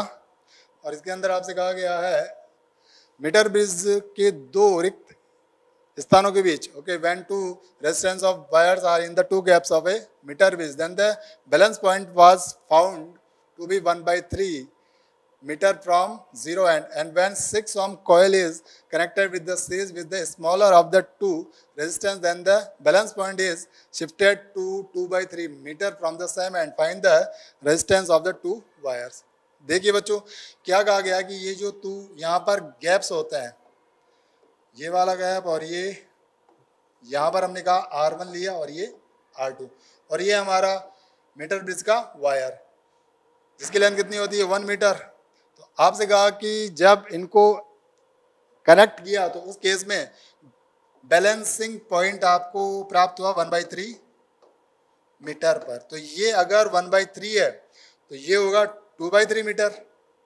ठीक है? So from here we can say कि R one upon one by three ये आएगा बच्चों R two upon two by three ठीक है? क्यों? क्योंकि हम लोग इसको आर वन और आर टू की फॉर्म में जब लिखेंगे तो यहाँ पर क्रॉस सेक्शनल एरिया और एल वाला पार्ट यहाँ पर कैंसिल हो सकता है। तो R R one upon R two बराबर R one upon R two बराबर R three upon R four से। ठीक है? It is balancing Wheatstone bridge तो यहाँ पर डी थ्री से कैंसिल हो गया सो फ्रॉम ईयर यहाँ से आर टू का वैल्यू ये आएगा टू आर वन ये आ गया हमारा इक्वेशन नंबर वन अब देखो बच्चों, क्या कहा गया है? छोटे वाले प्रतिरोध के साथ अगर सिक्स ओम की एक कुंडली जोड़ दी जाए, देखो बच्चों, यहाँ पर दोनों में से आर वन और आर टू में से स्मॉल वाला रेजिस्टेंस कौन सा होगा? जिसके लिए लेंथ कम आई है। लेंथ कम किसके लिए आई? आर वन के लिए। तो इसका रेजिस्टेंस कम होगा तो इसके साथ हमने कनेक्ट किया सिक्स ओम को। ठीक है? तो उस केस में balance length that will be two by three metre क्यों?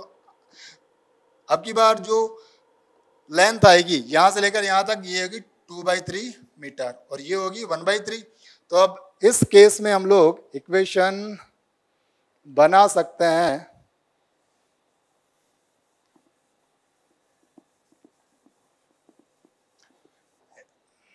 In this case, we can write that R1 plus 6 upon ये आएगी टू बाई थ्री और ये बन जाएगा आर टू अपॉन ये लेंथ कितनी है? One by three okay three three से कैंसिल हो गया।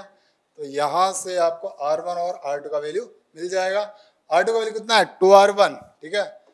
तो इसको मैंने लिख दिया आर वन प्लस सिक्स बराबर two R two R two का value two R one two R one तो ये बन जाएगा फोर फोर माइनस वन यानी थ्री आ जाएगा यानी थ्री आर वन बराबर सिक्स आ जाएगा। आर वन का वैल्यू कितना आ गया?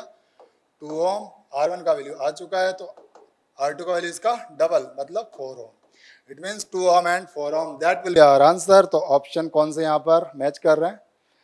Okay so first option will be the right answer बढ़ते हैं। अगले सवाल की ओर और, और ये है हमारा सत्रहवा सवाल। और इसमें आपसे कहा गया है कि यदि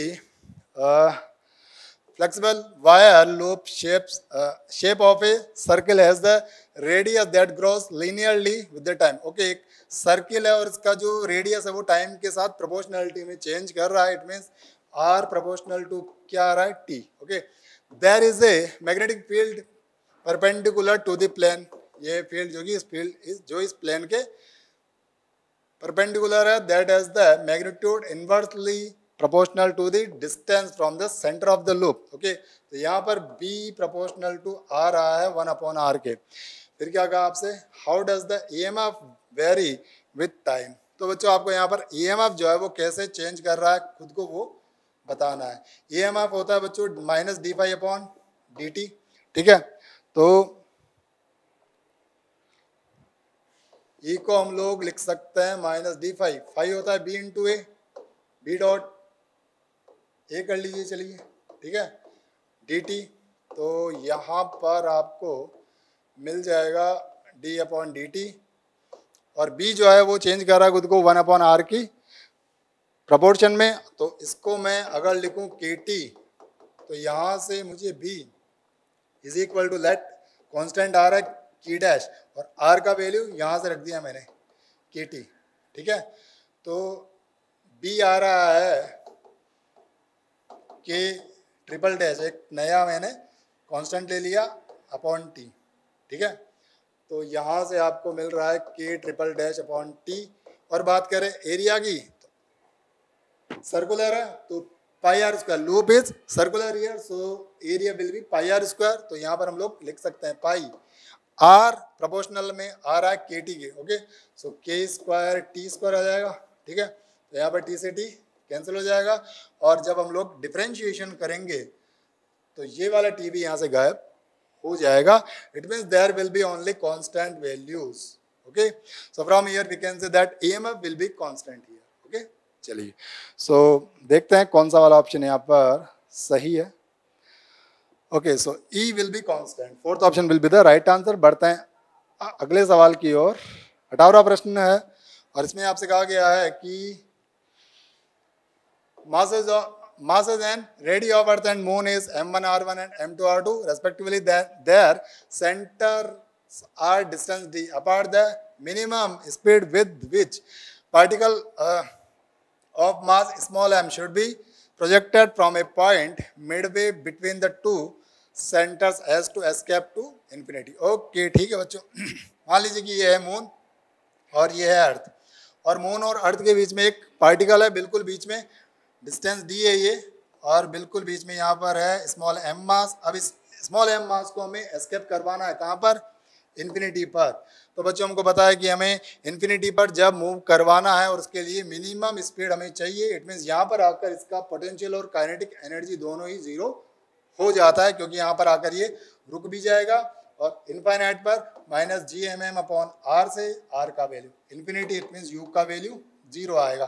तो इन्फिनिटी पर काइनेटिक और पोटेंशियल का सम क्या आएगा? ज़ीरो जबकि यहाँ पर हम लोग अगर देखें तो यहाँ पर भी नेट वैल्यू ज़ीरो ही होना चाहिए। तो हम लोग यहाँ पर पोटेंशियल और काइनेटिक का वैल्यू रख के देख लेते हैं, क्या आएगा आंसर तो बच्चों, यहाँ पर लेट की हमने half V minimum square velocity दी, जिससे यहाँ पर kinetic half M V square आ रही है और ये आएगा minus G M one M two okay okay okay one minute बच्चों, इसका अगर पोटेंशियल की बात करें पोटेंशियल एनर्जी की बात करें तो ये आएगी बच्चों due to earth and due to moon also और मास जो है इनके एम वन और एम टू दिए गए हैं। तो इस पार्टिकल का, इस पॉइंट के ऊपर potential energy G M one M upon D by two हो जाएगा, क्योंकि ये लेंथ डी बाई टू हो जाएगी और ये लेंथ भी D by two because this is midpoint और ये आएगा minus G M two small M upon D by two बराबर क्या आ जाएगा? ज़ीरो क्योंकि नेट का mechanical energy at infinity will be zero ठीक है? अब हम लोग इसको सॉल्व करके यहाँ से फाइनली अपने आंसर तक पहुँच सकते हैं एम से एम कैंसिल कर देंगे, ठीक है?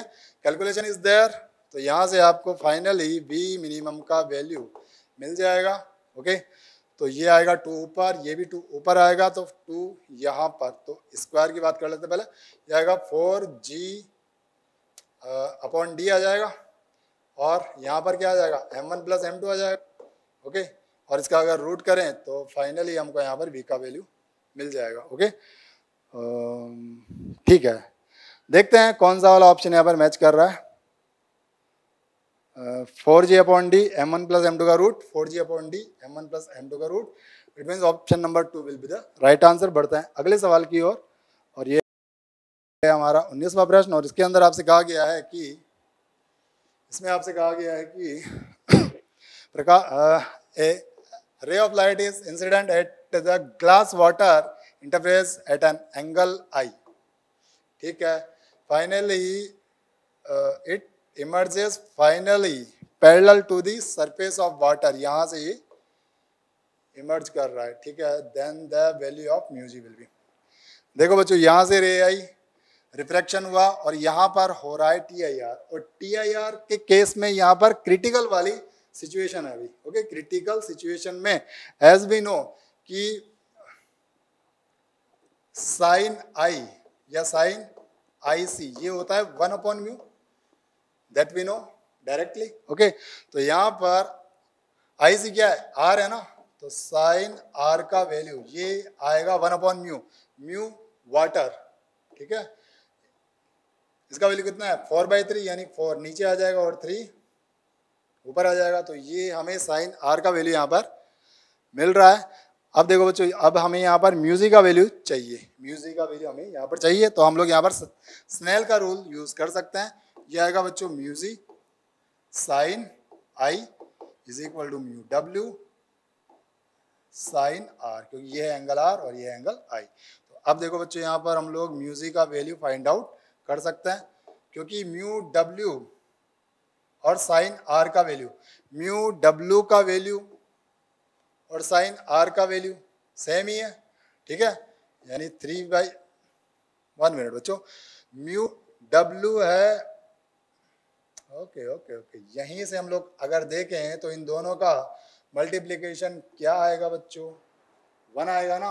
क्योंकि आई सी हमारा आर ही तो है तो इन दोनों का मल्टीप्लीकेशन वन है। मतलब हम लोग यहाँ पर कह सकते हैं कि mu W into sine r का वैल्यू है वन तो साइन आई यहाँ पर नीचे आ जाएगा तो डायरेक्टली यहाँ पर one upon sine i that will be our answer it means second option will be the right answer बढ़ते हैं अगले सवाल की ओर और, और अगला सवाल है हमारा बीसवा प्रश्न और इसके अंदर आपसे कहा गया है कि x जो है वो y के अंदर कन्वर्ट हो रहा है। X रेडियो एक्टिव न्यूक्लाइड है जो कि y के अंदर कन्वर्ट हो रहा है। X is unstable y is stable अब आपसे कहा गया है कि यहाँ पर अगर half life of x is to the growth curve of y growth curve of y ये दिया गया है डी के कर्व ऑफ़ x ये ठीक है?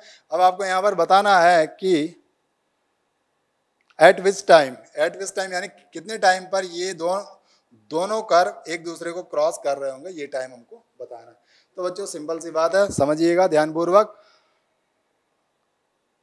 टाइम के साथ ये क्या है ये कर्व हमको बता रहे हैं कि नंबर ऑफ़ पार्टिकल कैसे कैसे बढ़ रहा है।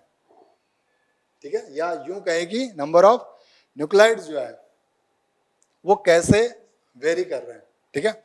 अब देखो बच्चों वाई बढ़ रहा है एक्स कम होता जा रहा है, और इस टाइम पर, इस टाइम पर ये दोनों क्रॉस कर रहे हैं। ये ग्राफ अगर क्रॉस कर रहा है तो हम कहेंगे कि इस पॉइंट पर आकर इन दोनों का जो वैल्यू है दोनों के जो नंबर है, वो होंगे सेम और दोनों के नंबर सेम होंगे, ये कब होगा?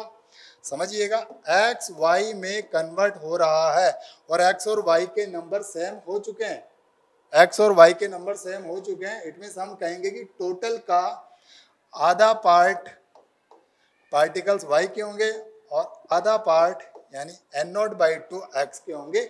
अगर N naught was the initial number of X nuclide okay ठीक है तो एन नॉट बाई टू ये हमें यहाँ पर प्राप्त हो चुका। एन नॉट बाई टू ये आएगा।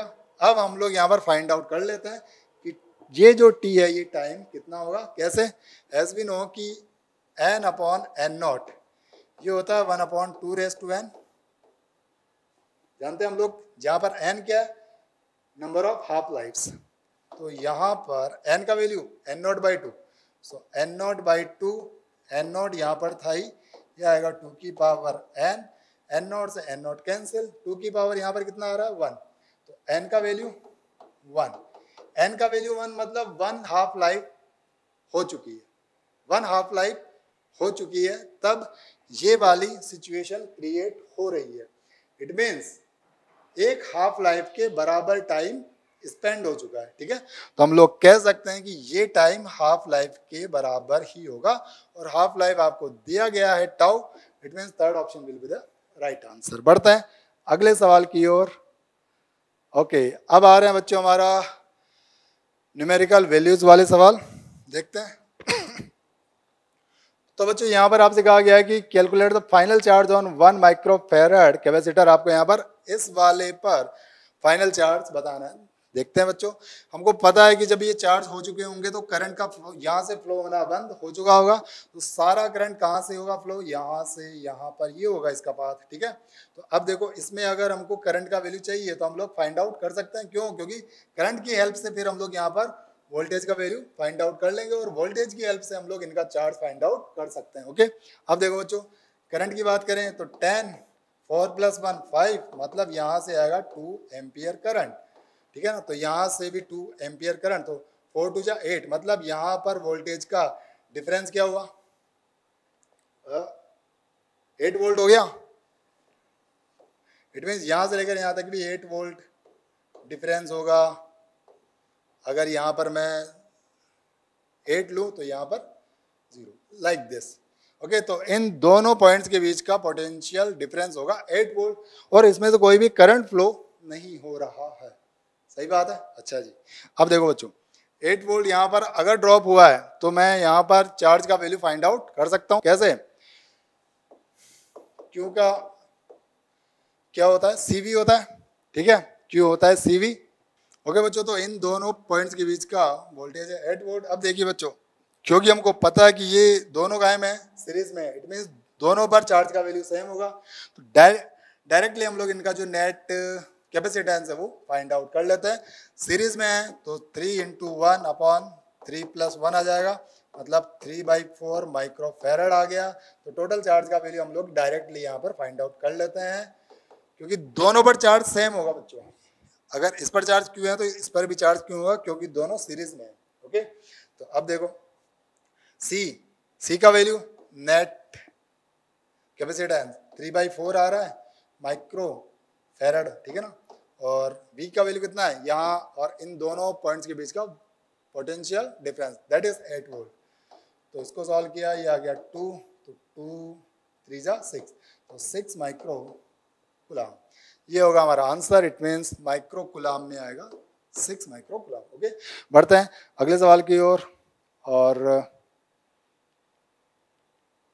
ये हमारा अगला प्रश्न. और इसमें आपसे कहा गया है इसमें आपसे कहा गया है कि energy levels of a certain atom for first second and third levels are E four E and two E respectively a photon of wavelength lambda is emitted from a for a transition from three to one then wavelength of the emission for transition two is to one is X lambda then find out the value of X okay it means 3 से लेकर अगर one one तक, three से one तक जब electron jump कर रहा हो तो उस केस में लेमड़ा वेवलेंथ वाली रेडिएशन निकल रही है। तो अगर टू से वन में जंप हो तो उस केस के अंदर एक्स लेमड़ा वाली वेवलेंथ निकल रही होगी। तो हमको यहाँ पर एक्स का वैल्यू फाइंड आउट करना है। ठीक है बच्चों, देख लेते हैं। As we know delta E delta E क्या होता है?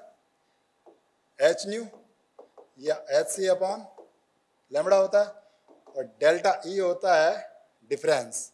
कहाँ से कहाँ के लिए बात करें? थ्री से वन के लिए। तो थ्री से वन, थर्ड और फ़र्स्ट।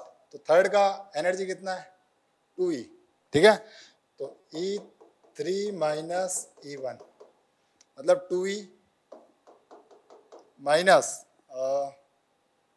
first one का कितना? ई? तो यहाँ से आ रहा है E.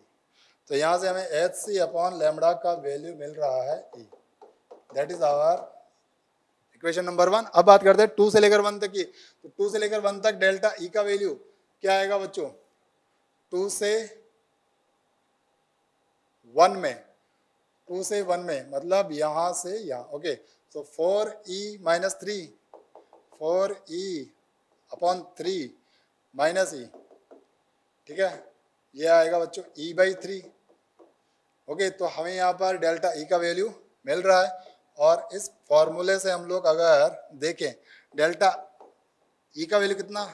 E by three H C upon इसके लिए, इस वाली सिचुएशन के लिए let wavelength is lambda dash तो हमें यहाँ से लेमडा डैश का value equation number let it is equation number two तो इक्वेशन वन और इक्वेशन टू की हेल्प से हम लोग सॉल्व करके लेमडा डैश का वैल्यू फाइंड आउट कर सकते हैं।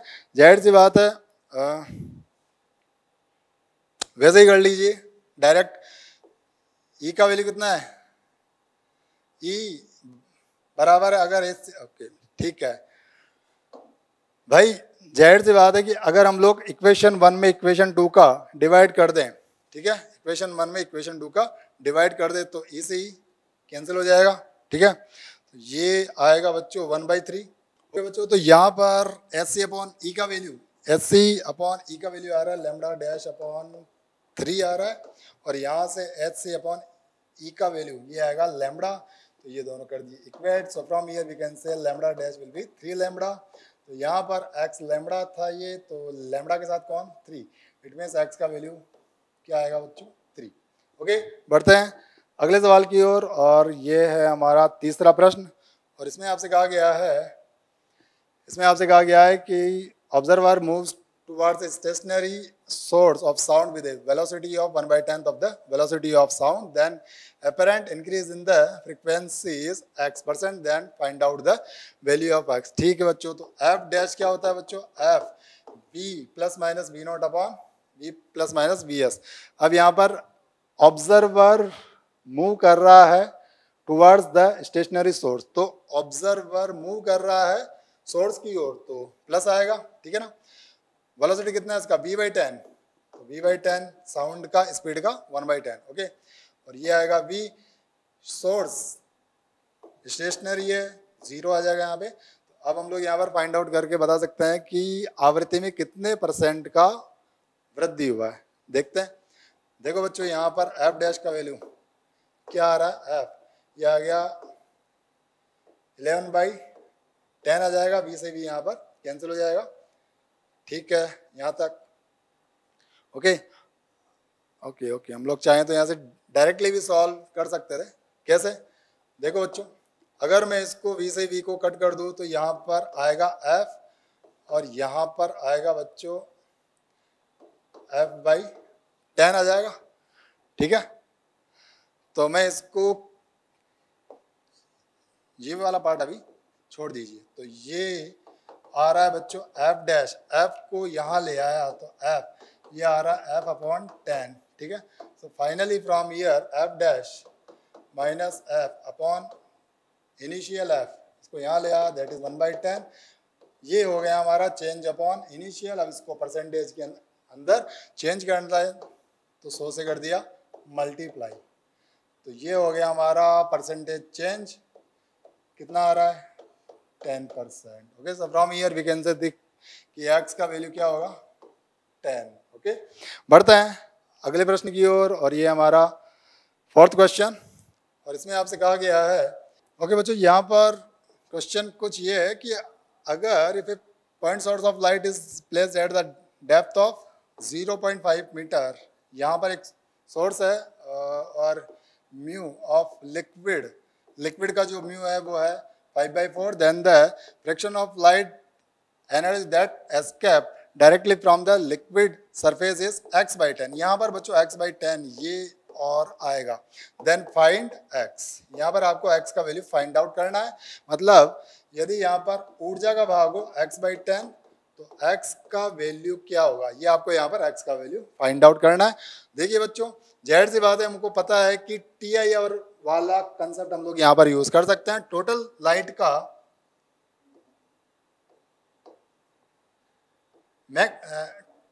टोटल लाइट का कुछ पार्ट जो है वो यहाँ से पास होगा।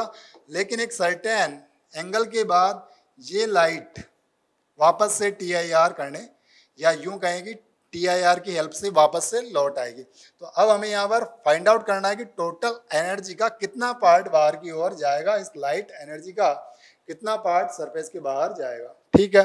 देख लेते हैं। सबसे पहले हम लोग यहाँ पर बात कर रहे हैं कि लेट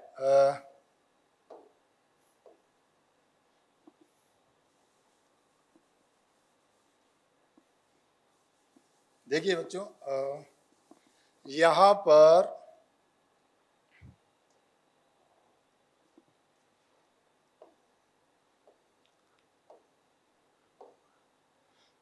मान लीजिए कि ये है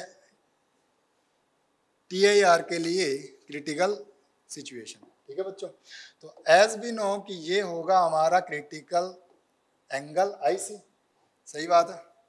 अच्छा जी। सो ये अगर एंगल है आई सी तो ये भी कितना होगा? आई सी होगा। एंड वी नो कि sine I C sine I C होता है बच्चों वन अपॉन म्यू ठीक है? साइन आई सी होता है वन अपॉन म्यू तो यहाँ से हम लोग साइन आई सी का वैल्यू फाइंड आउट कर सकते हैं वन अपॉन म्यू म्यू का वैल्यू फाइव बाई फोर तो फाइव ऊपर पहुँच जाएगा और फोर नीचे आ जाएगा. It means it will be okay okay one minute बच्चों.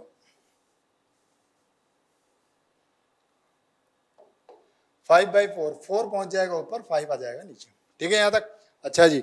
अब देखो बच्चों, इस टोटल एनर्जी की हम लोग बात करें तो ये एक सॉलिड एंगल की फॉर्म में बाहर की ओर आ रही है और इस टोटल एंगल का, इस टोटल एंगल की बात करें, ये सॉलिड एंगल की हम लोग यहाँ पर बात कर रहे हैं। ये होता है बच्चों एक राउंड के अंदर फोर ओम फोर पाई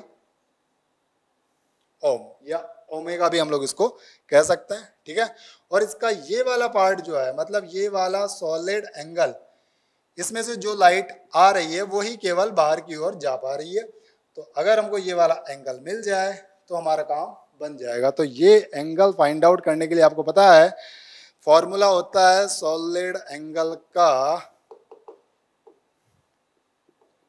क्या होता है? Two pi into one minus cos theta जहाँ पर कॉस थीटा क्या है बच्चों? इस टोटल का हाफ़ एंगल ठीक है ना? मतलब ये वाला एंगल और ये है हमारे पास आई सी तो हम लोग यहाँ पर कह सकते हैं कि ये आएगा टू पाई और ये आएगा वन माइनस कॉस थीटा अब बच्चों, अगर साइन थीटा का वैल्यू है फोर बाई फाइव ठीक है ना? साइन थीटा का वैल्यू है four four by five it mean हम लोग यहाँ पर कह सकते हैं कि आई सी का वैल्यू एंगल कितना आएगा? फिफ्टी थ्री डिग्री ठीक है? तो कॉस फिफ्टी थ्री डिग्री का वैल्यू क्योंकि यही है हमारा आई सी है। कॉस फिफ्टी थ्री का value three by five. So ये आएगा थ्री बाई फाइव। तो ये बन जाएगा बच्चों टू पाई। फाइव में से गया थ्री, यानी टू बाई फाइव आ जाएगा ये। ठीक है? तो ये आ रहा है बच्चों फोर पाई अपॉन फाइव। ये आ रहा है हमारा सॉलिड एंगल जहाँ से लाइट बाहर की ओर आएगी। ठीक है? तो ज़ाहिर सी बात हमको साफ़ तौर पर दिख रहा है कि ये वाला एंगल इस वाले का वन बाई फिफ्थ पार्ट है। वन बाई फिफ्थ पार्ट मतलब वन बाई फिफ्थ पार्ट होता है बच्चों। वन पॉइंट फाइव क्या होता है? ज़ीरो पॉइंट टू और हमें इसको कंपेयर करना है। किससे? एक्स बाई टेन से। तो ज़ाहिर सी बात है कि हम लोग पॉइंट हटा के इसको टेन की फॉर्म में, यानी टू अपॉइंट टेन लिख सकते हैं। तो हमारे एक्स का वैल्यू क्या हुआ? टू एक्स का वैल्यू आ गया two so two will be our right answer okay बढ़ते हैं। अगले सवाल की ओर, यानी हमारा आखिरी सवाल है वो। ओके तो यहाँ पर अब आपसे कहा गया है कि in an experiment of photo electric effect the wavelength of the incident radiation is lambda less than of thresh wavelength the wavelength of the incident radius is radius to one by third of the initial value and the maximum kinetic energy of the photo electron observe to four times of the previous value The threshold wavelength for the metal plate is X lambda then find out value of X okay बच्चों, समझ लीजिए क्या है सवाल?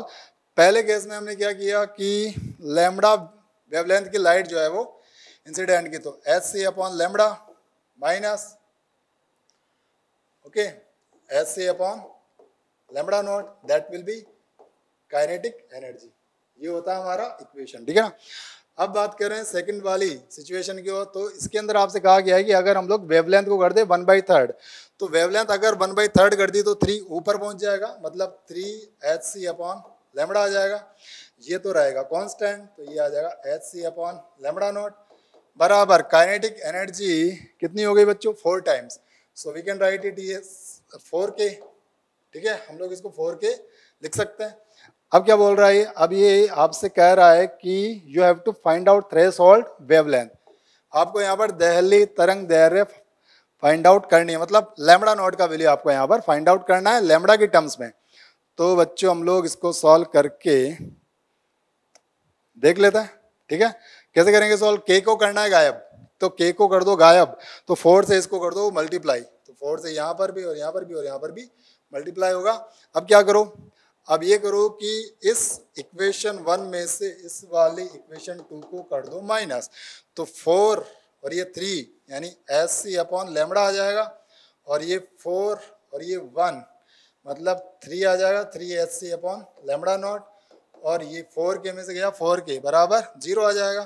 तो अब यहाँ पर S C S C common आके चला जाएगा नीचे और यहाँ रह जाएगा बच्चों वन अपॉन लेमड़ा और इसको ले जाओ यहाँ पे। तो थ्री अपॉन लेमड़ा नॉट आ जाएगा। तो यहाँ से लेमड़ा नॉट का वैल्यू मिल रहा है थ्री लेमड़ा। ओके तो हम लोग यहाँ पर कंपेयर करें तो एक्स का वैल्यू क्या आएगा बच्चों? Three okay so three will be its right answer okay बच्चों? तो ये था हमारा DCM test series for JEE 2021 का major test number three out of three यानी तीसरा मेजर टेस्ट पेपर था और तीन ही यहाँ पर पेपर होने थे। ओके बच्चों। तो फिर मिलते हैं किसी और पेपर के साथ, किसी और टॉपिक के साथ। तब तक के लिए खूब मेहनत कीजिए, खूब प्रैक्टिस कीजिए और अपना ध्यान रखिए। सो टेक केयर जय C L C bye bye